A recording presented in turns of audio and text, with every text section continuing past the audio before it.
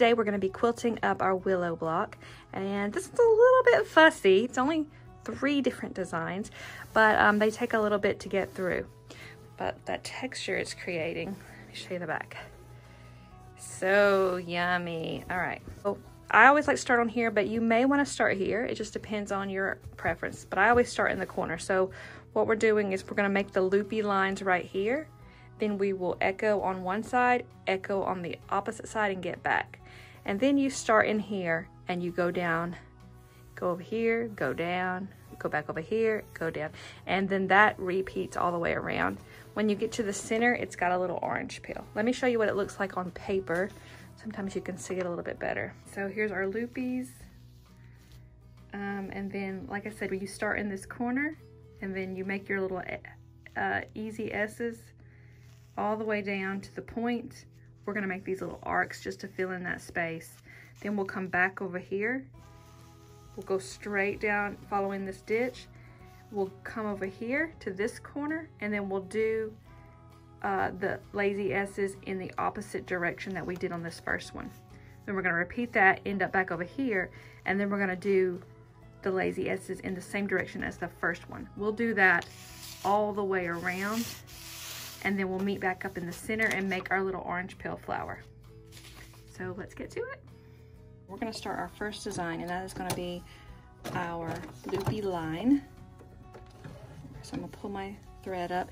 Uh, if you need this starter video, and you can go back and look at one of the um, other quilt it videos, and it'll show you how to get started on free motion quilting. But let's just start our line, and what we're gonna do is we're going from here all the way to here, and we're just gonna make a, a, a wavy line that has a little, that has a few loops in it. So, start, loop, we'll loop in the opposite direction,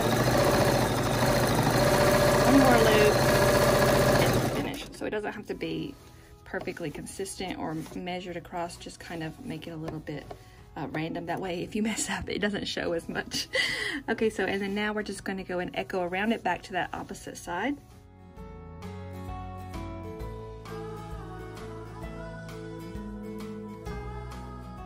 All right, and now I will do the same thing to come all the way back on the op opposite side.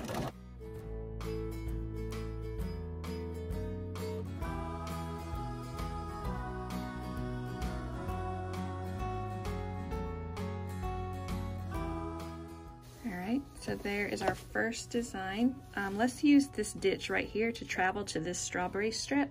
All right, I'm gonna stop right there at that corner. And what we're gonna do is we're gonna make these S's. You can see I've already done them right here.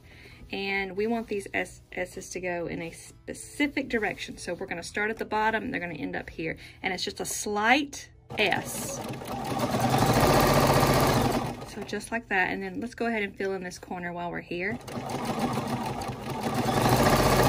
all right? And then follow the ditch. And then I like to keep them around a quarter inch, a little bit bigger than a quarter inch, but not too much.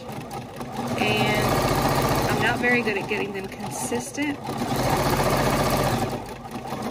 but it, it tends not to matter in the overall look.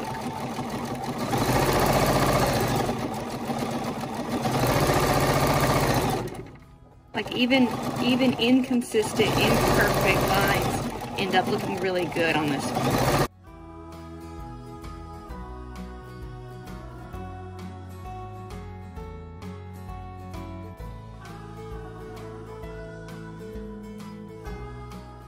All right, remember to, we're following this line of peaches, I mean, this line of strawberries. So I'm not gonna, you know, get over here in this background space. So I'm gonna follow this diagonal line and then just continue to do my S's all the way to the end.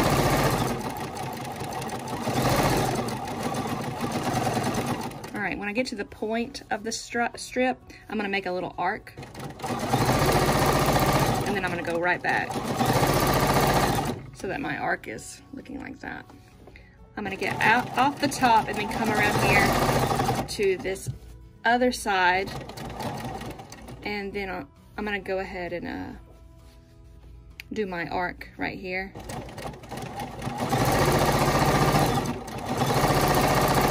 And then I'm, because I can, I can only do these S's in one way, I'm gonna go ahead and follow this ditch this way.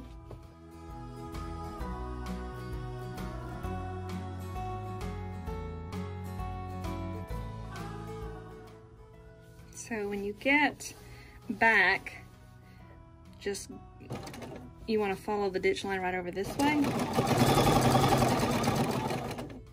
And then we're gonna do these in the mirror image. So this will be like,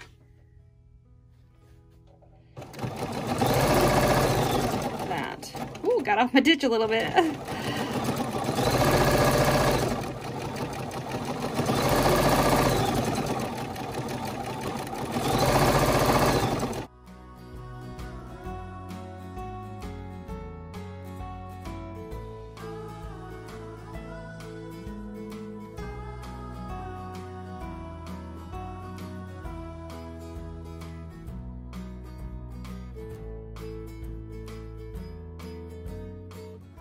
And then we're gonna come off the top and go back up here. And then I'm gonna go ahead and do my arc. I'm gonna follow this stitch, stitch line all the way back. And you can see how it looks uh, when they're when they when you put them together. Even even though you can tell that mine aren't exactly perfect mirror images, it still looks pretty good.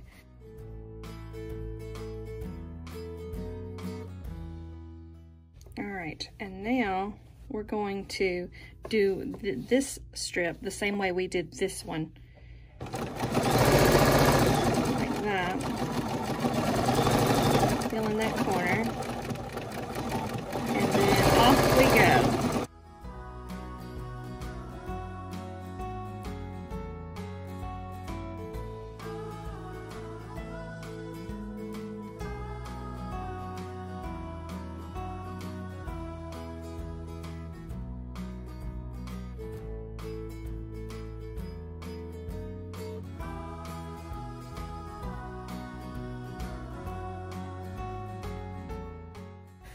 Can tell I need to get, I need to work at this design and get a little bit better, but it's a start and I think it looks great. All right, so we're gonna move to get right here. Pivot and get back in the center and we're gonna do our loopy loop line right here again.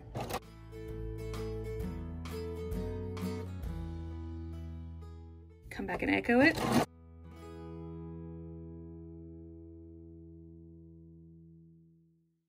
And then echo it on the opposite side.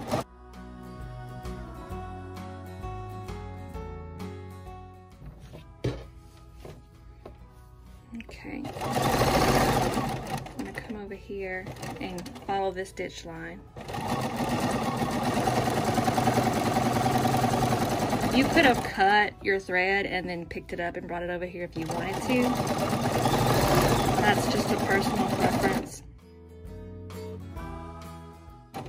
We start our S's.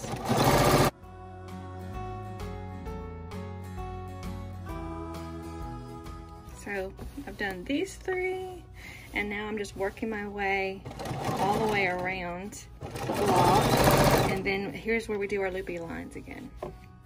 So I'm gonna get my loopy line done here. I'm gonna finish these three, and then I'm gonna meet you back in the middle right here. All right, so I finished all the strips, but we still got this center part. So I made my little arc right here, and then I'm gonna get back over here on this stitch line. And then I'm gonna follow it all the way back to the center.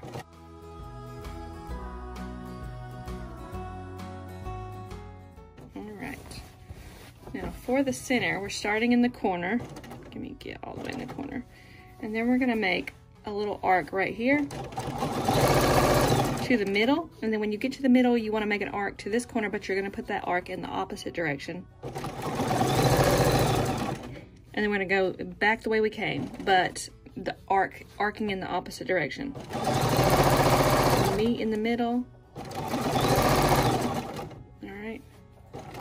We're gonna follow this ditch to the opposite side here. And then we're gonna do to the middle and then to the opposite. And then we're gonna go back the back arc in the opposite way.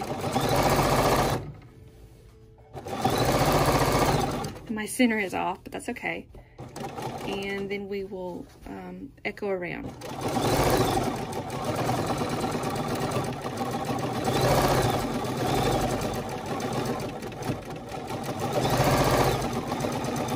And then depending how big you made those little orange peels, how many echoes you can do around, but I think that's gonna be enough for me.